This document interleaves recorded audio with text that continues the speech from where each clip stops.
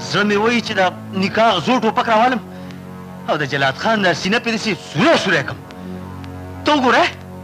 زما د یار د خدای په خدایي کې هغه یو جینۍ خوښه شوه ده پکې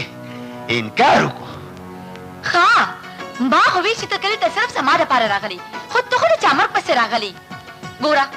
که خدای مکه په تاسو وشو او یا ستا لاسو کې حد کړیو لګي دي نو زما پسې کېږي ونامړې نه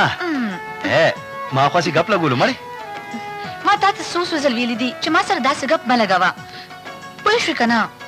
Thank you.